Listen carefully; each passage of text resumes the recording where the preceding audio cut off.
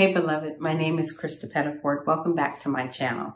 Today I want to share a prophetic word with you.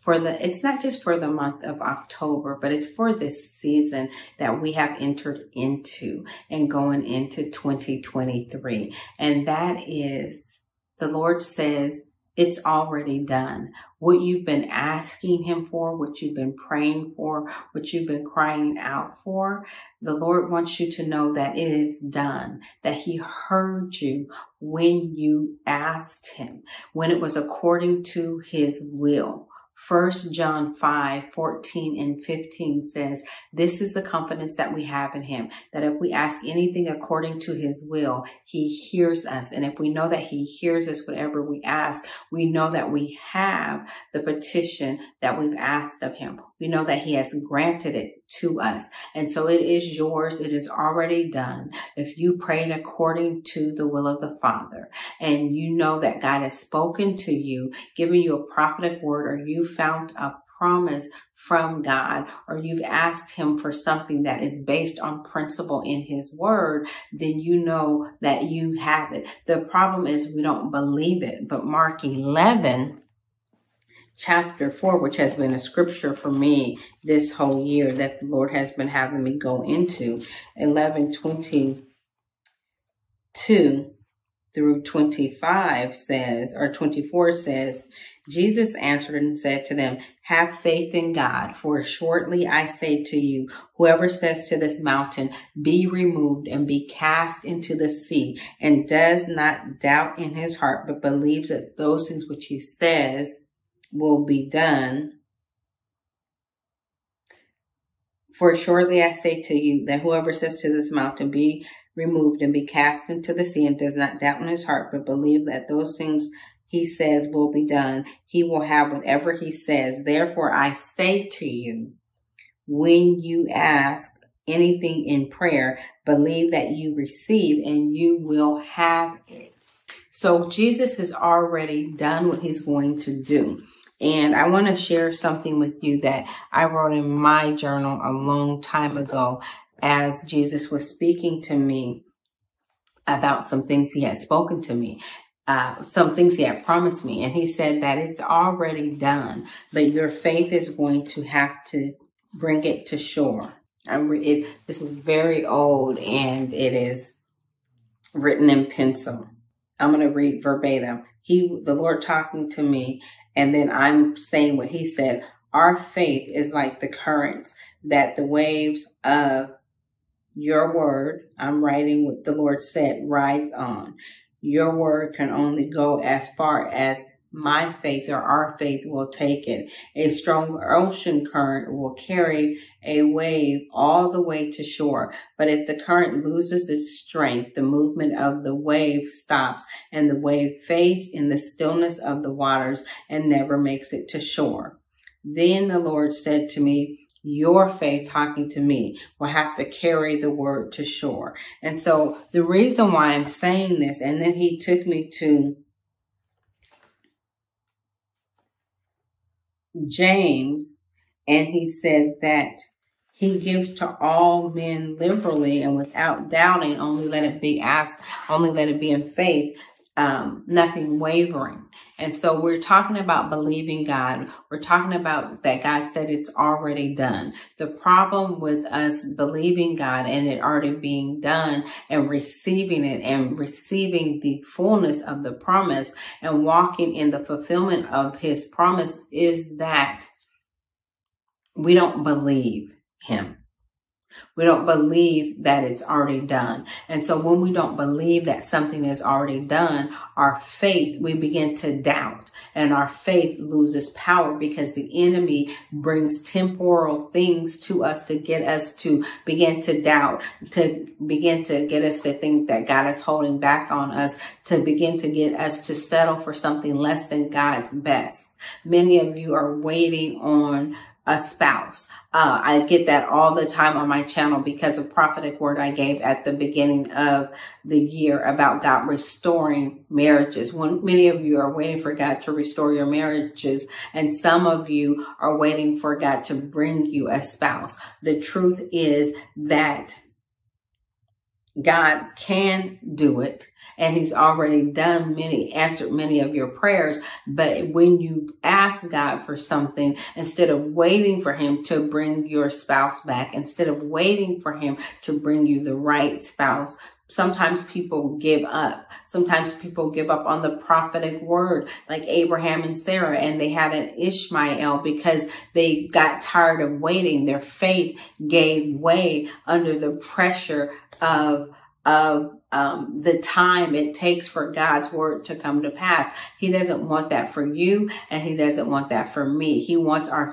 faith to carry the wave of his word to shore. He wants our faith to be like a current. Just imagine that when you, I don't know if you've been near ocean, but I live in Southern California, which is near the ocean. And I grew up going to the beach and seeing the ocean, not just the bay, but the actual ocean. And when you are near the ocean, the waves come in and you have surfers and they ride those waves in. And if the wave, the wave falls flat, they they fall in the middle of the ocean or they have to paddle back because the wave the current of air that was pushing that wave to shore that was going to carry that surfer in loses its power then they then the board is not going anymore. And this is what the lord is saying. His her, our faith is the wind, the power behind the word of God coming to pass when he's given us a promise. There are miracles and there are things that you can believe for and get right away. But when it comes to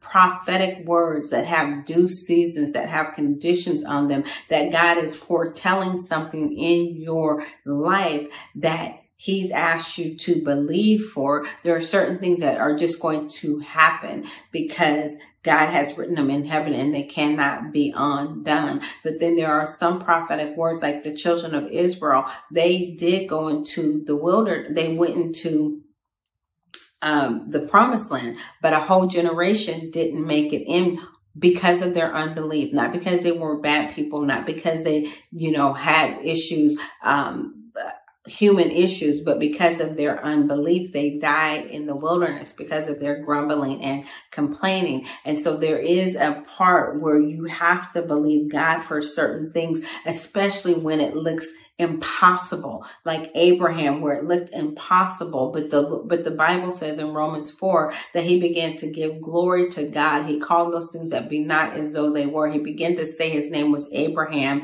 father of many nations, instead of just high father, after the Lord told him to call himself that. That is calling those things that be not as though they were.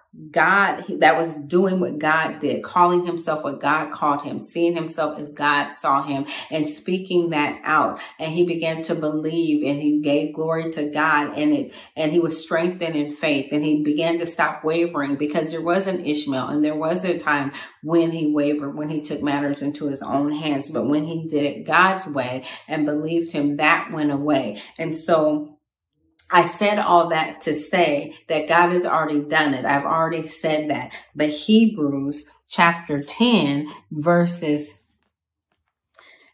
35 through 36 says, Therefore do not cast away your confidence, which has great reward, for you have need of patience or endurance, so that after you have done the will of God, you may receive the promise. There is, there, you have need of patience, beloved. You have need of patience. After you have done the will of God, after you have done everything you know to do, after you have done everything to you know to do and you're standing you're going to have to wait in patience for God. I want to encourage you not to give up, not to faint, to keep believing, not to settle for something less, not to allow the enemy to bring something to you like he brought to Eve. God told her not to do one thing. He had something else for her, but she decided that after she listened to the voice of the enemy to deceive her and tell her that God was holding out on her, she went after something that she thought was better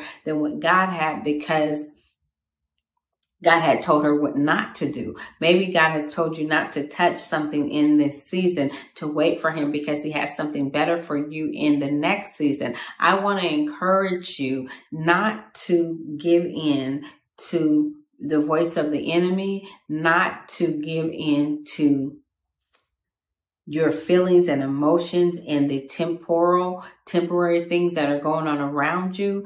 Know that it's already done. Claim the promise, rest in it. Begin to call those things that be not as though they were and wait for God to bring it to pass. The truth is that we cannot make it come any sooner than God has ordained it to come in its due season. We see that throughout the Bible, but what we can do is delay our breakthrough by disobedience, by unbelief. And God doesn't want that for you. And so if you need help staying focused on what God has called you to do, if you need help believing what God has spoken over you, and not being distracted, then I have a resource for you. You can download the five clarifying questions for every season of life that will help give you clarity so you can focus on what God has called you to do in this season and you won't be distracted and pulled in all the different things that lead to unbelief, lead to doubt, lead to impatience when God has told you to be patient.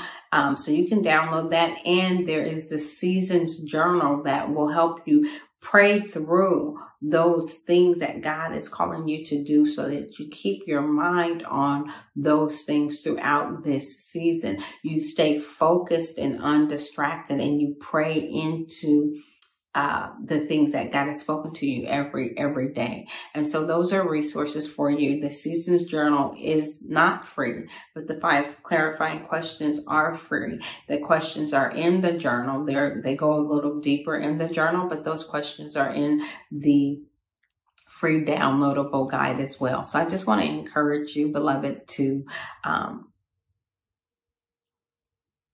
stay patient in your season of waiting and know that God has already done it. It's already yours.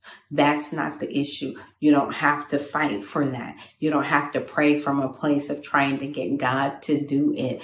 Just know that God is already done it and give glory to God. Thank him and rest in